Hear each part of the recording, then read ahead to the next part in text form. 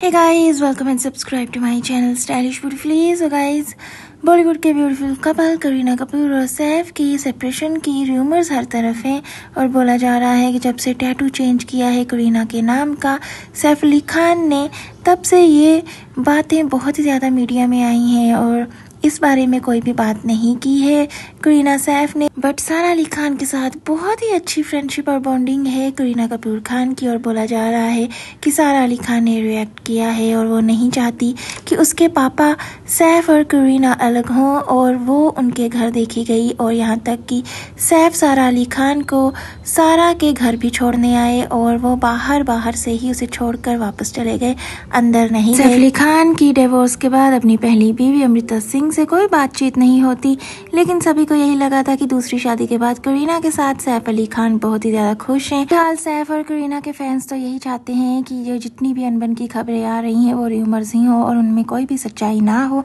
क्योंकि सबसे ज़्यादा इफ़ेक्ट तैमूर और जे अली खान पर पड़ेगा। आपका इस बारे में क्या ख्याल है और सारी अपडेट हम आपको कंटिन्यूसली देते रहेंगे। Thank for watching don't forget to subscribe bye